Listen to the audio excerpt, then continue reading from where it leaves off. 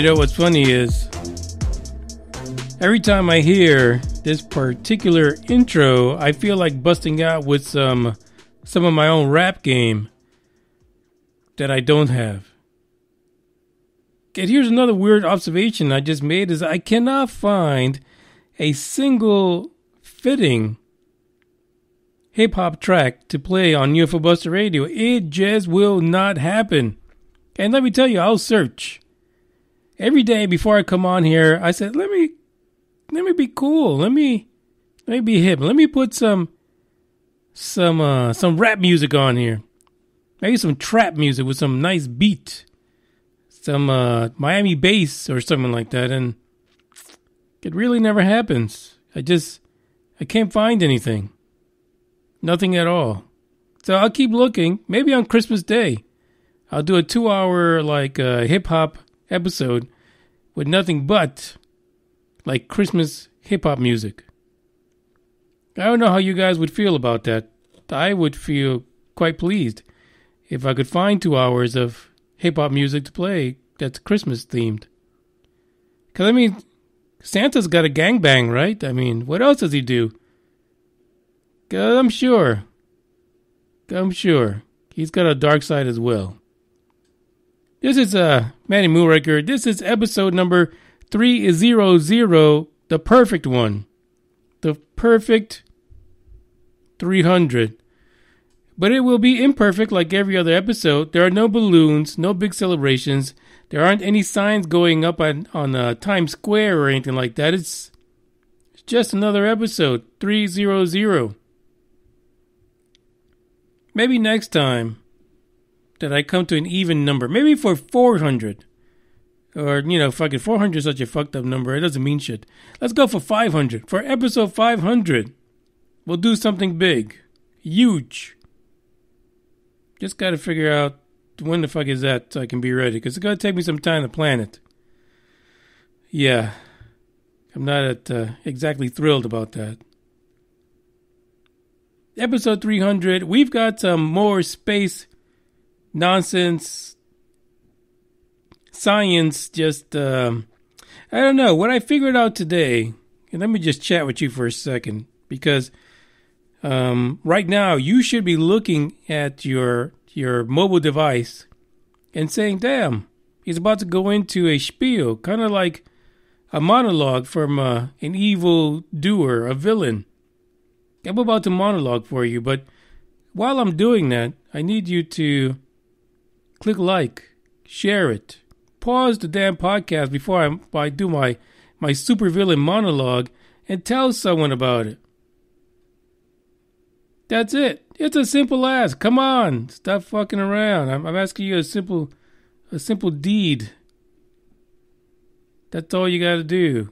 Share it, like it, subscribe, and do whatever you can to get the message out. So now let me get back to my monologue. What I've realized in the stories today is that um, scientists are people too. We may not think that, right? We are the blue collar folks who uh, go to work nine to five. Not that we put nine hours of work or even eight hours of work into our daily business. Some of us like fuck off, listen to podcasts like give UFO Buster Radio, or uh, go over to the restroom and sit on the shitter for an hour and make believe you're in the meeting shit like that happens. I've experienced that myself. Can't say I've done it. No. Because that's when your legs fall asleep, so that's not good. But you know, you see someone walking around your office all funny and shit, they were on the shitter for a long time, doing nothing. But that's the blue collar experience, right? But what I've noticed today is that scientists are just as blue collar as everyone else. Don't let the degrees fool you. Don't let these uh, 40 page studies that don't fucking get you anywhere um, confuse you. They are just as fucked up in the head as we are. They can't make a fucking decision. They have inner demons just like everyone else, and they have to sit there and eventually they've got to pick a side. And thanks to all the alien talk, all the UFO talk, all the Oumuamuas of the world that talk about tic tac UFOs and people that used to work in secret bases. Thanks to that, some of the lesser known, really fucked up in the head, confused guys that really do believe that there is alien life somewhere else, they're coming out and writing papers. Yeah, they have no fear now. Their pocket protectors are, are they're on blast right now. They are like full alien. I don't give two shits. Brand me whatever the fuck you want to. I'm going to come out the science closet and I'm going to be free. But what that's shown us is that there no longer is this this uh this wall that separates us from scientists. There's some fucked up scientists just like us. And they're climbing that wall. Some of them are getting caught on the barbed wire and we may never see them again. But uh, there's a few that are jumping over, breaking a few legs when they land, but um, they're joining us. Joining us to fully embrace the fact that, they, yeah, there might be alien life somewhere else. And we just give in, get on that crazy train, because I believe it as well. So I just gave you the synopsis for the first story. So no fucks given. Don't get confused. Uh, it is the truth. There's just you. You can't really. I don't know. You just gotta embrace it, and I think that's what science is doing. And slowly, people are defecting over to the reality of things side, as opposed to the science-backed, it's impossible side. Before we get into that, I'm going to play a little song. So I know some of you got glow sticks everywhere. Go to the trunk of your car. I mean, you might be hiding it somewhere. Go to the basement, the garage. Just pull that shit out, turn off the lights. Yeah. I want you to have fun with this. If you need to run into that corporate restroom and turn off the lights and just go to town, go ahead. Don't worry about it. Dude that's on the shitter right now, taking his hour long break, he's not going to notice. He's watching something on his phone. You know I'm right because you hear that shit all the time through his headphones. Uh, here it goes. First song for today is called Flames. Hit it.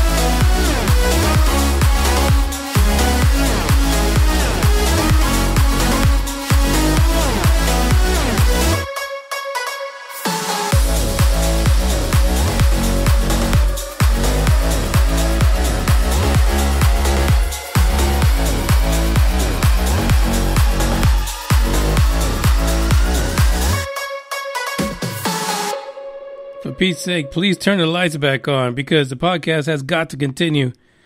Let's get to the first article.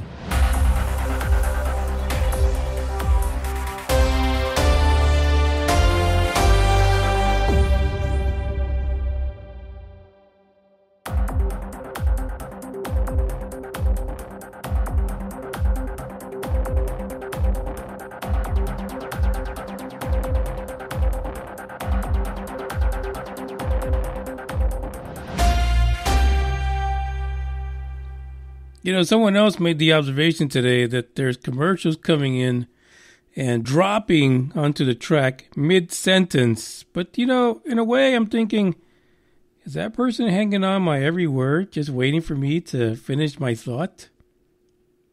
Well, gosh, I like that. That's fantastic. The article that we're going to talk about right now is titled The Following Alien Life Could Be More Common Than We Thought. Scientists say, isn't that just the pot calling the kettle black? Or not? Because there was a time when scientists would not even acknowledge, not for all the money in the world, that alien life could be possible anywhere. Because we, you, the guy that's walking around with uh, smelly pants, bad breath, and all other kind of things you don't want to talk about really were the gifted miracles of the universe. Yeah. Basically, we were the ones. Even in science, scientists really believed that there could not be possibly life anywhere else just because they looked at our own solar system. And what did they find? Well, back in the day, they didn't find shit because they didn't have the ability to find anything. They made a lot of assumptions based on theories. And those theories were that it is highly improbable that any other planet in any other solar system in any other galaxy will be so fortunate to end up in what later they identified and uh, termed the Goldilocks zone. For those of you who don't know, that is being the third planet from the sun, or far enough from the sun where it won't get too hot. And also, it's not that cold. Just perfect. And in that zone, life grows, lives, evolves fills up the planet, then kills it with pollution. That is what they said. So now they're looking at that, right? So slowly they're finding more and more things. In our own solar system, they're starting to, you know, suck it up. And understand that life can evolve somewhere else. Just because we haven't found it doesn't mean that it's not there. The episode image the image right now that you see, those two bright stars, are Alpha Centauri A and B. That image is courtesy of NASA's Hubble telescope. I want you to look at that because it's really important because this study that we're about to talk about, which actually addresses the idea that possibly there could be life somewhere else, Alpha Centauri A and B, the binary star system, was used as an example. And the one thing you have to know about this is how far Centauri A and B are, and uh, but we're not going to talk about it right right now. Let's just get into what they said, and that basically is that what they found is that theoretically, a twin star system, a binary star system, would have more of an opportunity to sustain life. And so the study is looking at the theoretical twin of the planet Earth. So, how could a planet Earth survive in another star system? Well, it had a better chances, right? If it was a twin star system, and the factors that they gave is the tilt. The tilt of the planet in comparison to Mars and its location in our solar system is what gave it the ability to create life or sustain life or make the environment suited for life to grow. So, what scientists are saying is basically you would have a better opportunity to find life if you didn't just have one star, for Pete's sake, because we are the miracle children of the universe. Fuck, if you have two stars, you could be the worst freaking uh, bipedal animal in the universe and you would still survive because you got two stars. Imagine if you had three. You'd be gods. But the study says if you have two stars, you have a better chance if you are a planet in this Goldilocks zone they could have life evolving on it. And so, in other words, they're looking for binary star systems in order to look for that situation to happen. But don't get your panties in a bunch yet, because it turns out that there's always a caveat to everything they say, right? Because you're thinking, well, are there any binary star systems they're not sitting at the other side of the universe. Well, yes, they are. That would be the image you just looked at Alpha Centauri A and B. Alpha Centauri is only 4.367 light years away. In layman's terms, it takes light 4.367 years to get here from Alpha Centauri, and vice versa right? So, for example, if you were going into your first year of a high school and you sent a message to Alpha Centauri, they would receive it a little bit after you graduate. Now, it would take those fuckers, yeah, maybe a year or two to figure out what the fuck they're receiving, and then they'll send a response back right before you go to maybe get your master's.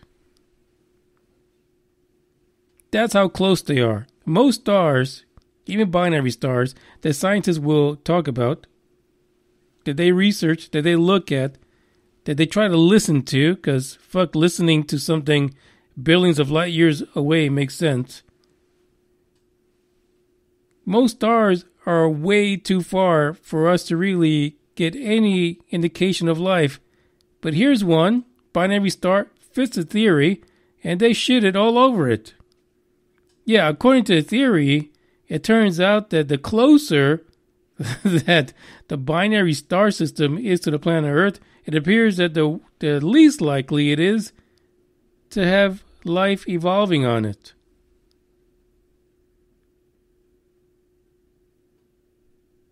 There's always a catch. There is always a catch.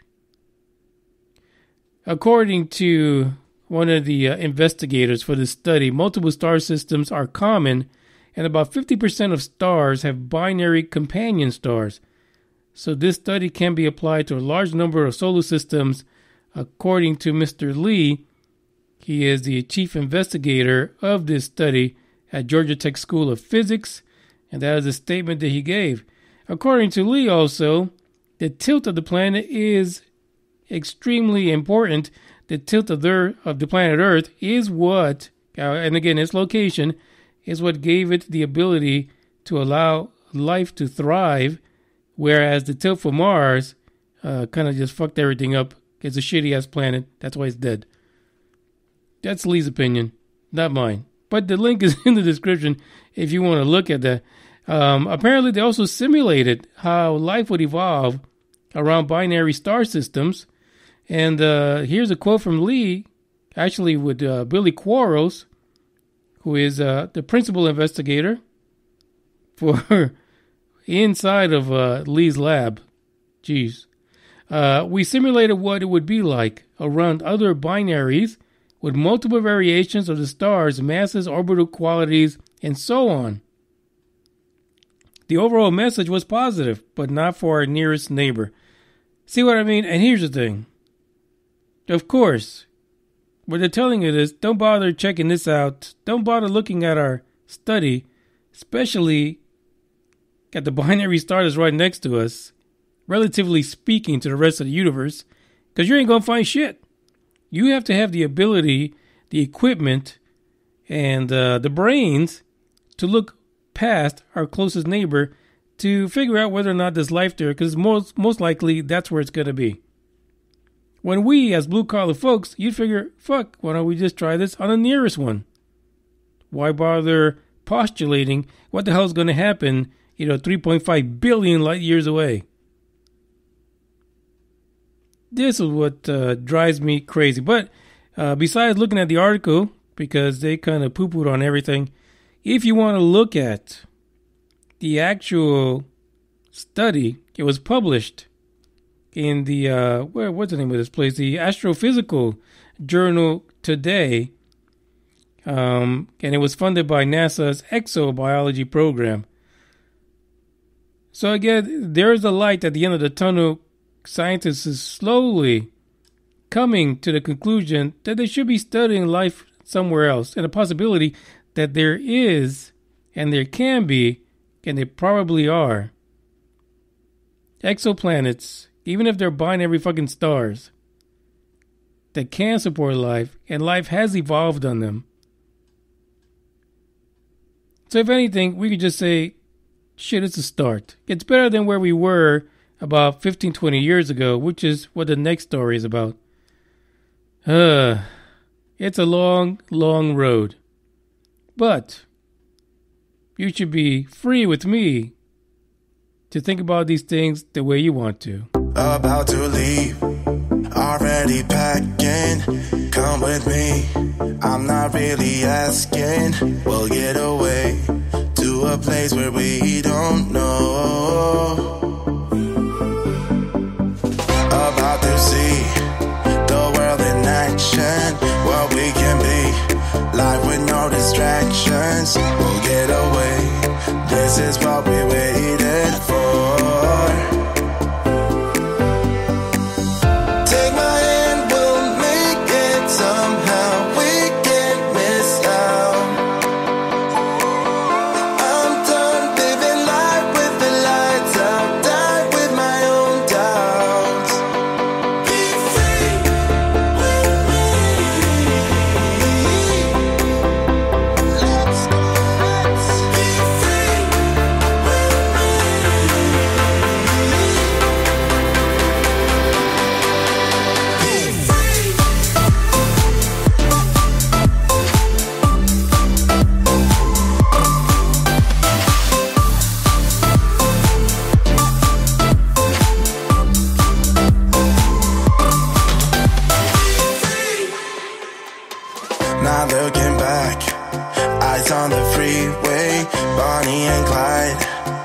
classic cliche.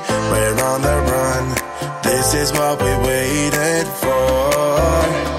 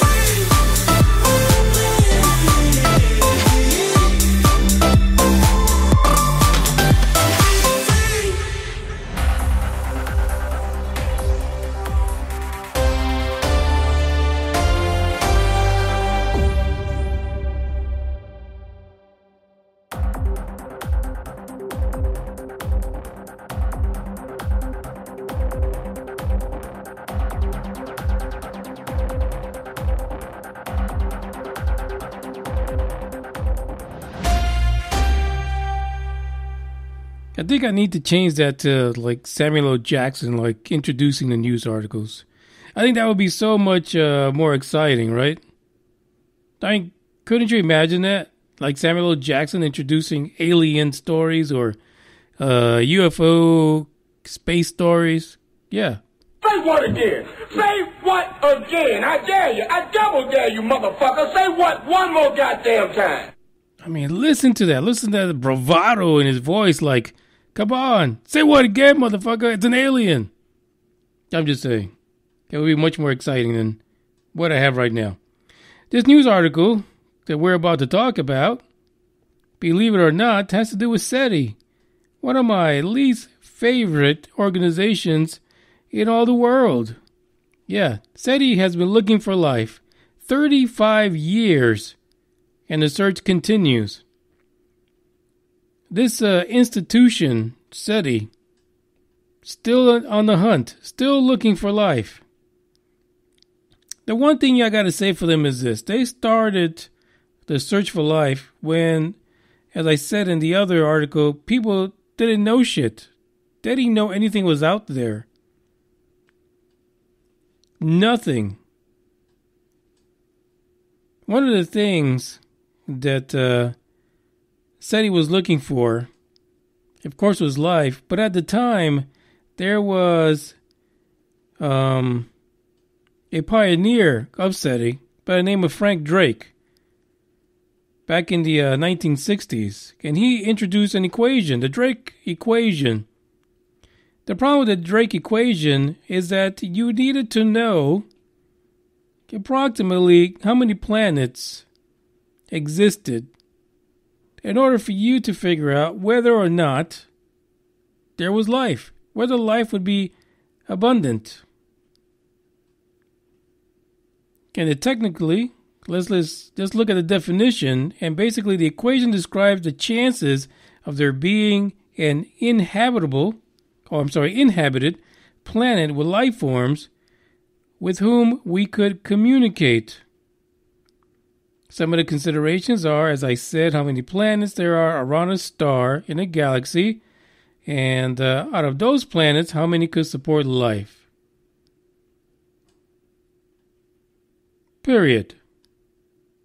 Now, there's other things that go into it. You know, at what part of their evolution are they? Did they get to the point where they could communicate outside of their own environment into space past their solar system? But the problem with that equation is you, at the time that this got together back in the 1960s, people had no idea how many planets there were. Thanks to the uh, computer simulation known as NASA, they've been dropping stars, uh, I'm sorry, planets like crazy all over the place. All of a sudden, there are more planets than there are stars. SETI started back in uh, Mountain View, California in 1984, November 20th. Actually, tomorrow, they'll hit that 35 year mark. Um, back in 1993, they lost their funding from uh, the simulation called NASA. And why? Because NASA needed money, money to uh, construct the Allen Telescope Array.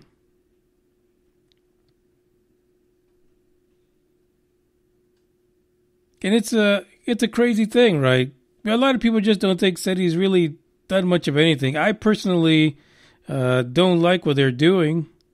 I don't think listening for things is going to get anybody anywhere. But they're doing other things, right? We've covered this before in the podcast. Uh, Jill Tater, I'm sorry, I'm thinking about potatoes right now. Uh, Jill Tarter, now I'm going moving over to fish. Uh, Jill Tarter is a co-founder of the institute. She said this: "We want to look at all the sky all the time." Well, Jill, you need money for that shit like that does not just happen for free. And according to Jill, from some of the uh, discoveries that NASA has, has made since SETI first started, the Milky Way itself has more planets than it does stars. So there's a lot more to that Drake equation. So now the, the issue is can you determine how many of those abundant planets are in the zone where life can evolve? And then you throw in your your Drake equation and try to figure out is it possible that life elsewhere is more abundant than what we thought it was? I mean, personally, you ask someone that got probed just last week whether or not life is abundant somewhere else. I'm sure they'll tell you yes, emphatically. I'm sure they'll have some flashbacks, some PTSD to go along with it. Uh, and the truth is that uh, SETI is looking for a lot of different ways to identify life in other planets and things like that, uh, trying to figure out if there is something out there. Um, but they know that they have to change with the times. Uh, one of the things that uh, was alluded to by Seth uh, Shostak, he's the uh, senior astronomer at SETI, is that the big change has been a shift in emphasis toward astrobiology. Today, the majority of scientists here are studying life in space, like on Mars, Enceladus, Europa, and elsewhere. Which is important. And I listened. If you listen to the podcast for a while, I've said this a quadrillion billion times over many light years away. You cannot continue to look at things 4.25 billion light years away if you don't even understand what the fuck is in your backyard. Seth said that in a nicer way. If you don't understand what's on Europa, Saturn, Mars, Neptune, Pluto, if you have no understanding of these planets, what makes you think you can figure out if there's life 5 billion light years away? No, stop that shit. Give us the money back. We need a refund. Put all that stinking ass money that you spent looking at someplace you can't even identify clearly whether or not it really can hold life. You base all on theories, on locations, and blurry ass images. Why don't you focus in on our own solar system? Get yourself a good foundation. Learn what it really means to hold life. Can life be found on Enceladus? Does Mars hold a bunch of microbial beings farting away seasonally? Then tell me, at that point, can you really match that to things that are way too far for you to be able to identify at this point in time? I mean, it's just that easy. I mean, they have no point of reference, none. They're getting it. NASA slowly is identifying more and more planets, but we still don't have a point of reference of how we truly identify life in other places other than our own planet, and that's where we're stuck.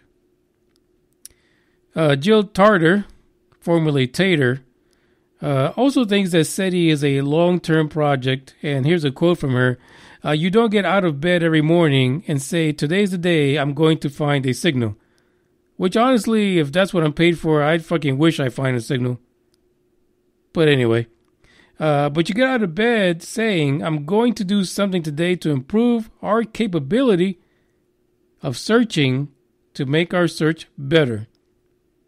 Well, SETI, apparently, Tater he just told us that uh, SETI has not gotten out of bed in 35 fucking years. You guys are still trying to figure it out. You're all asleep. Wake up. It's about time you guys got woke.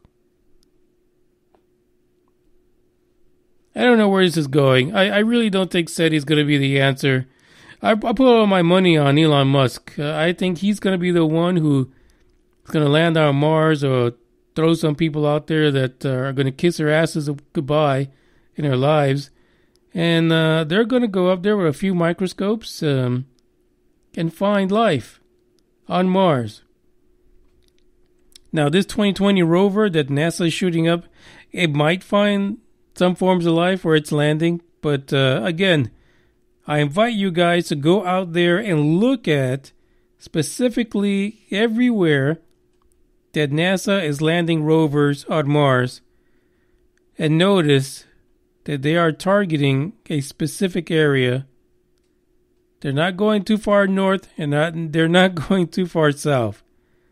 And unfortunately for us, the places where signs of life apparently are giving off seasonal oxygen, carbon dioxide, and all that craziness are not anywhere near the rovers, and there's got to be a reason for that. Conspiracy, I guess. Conspiracy. This is the end of the podcast. Um, what can I do? I guess I'd have to end it, but uh, don't forget to share it, like it, tell your peoples about it. We're going to end with a song called Hyperdrive because SETI needs to get a hyperdrive. They need to get their shit in in uh, into the new millennium. Use some new technologies and stop listening for shit. Fuck. No one's trying to communicate with you. Grow up.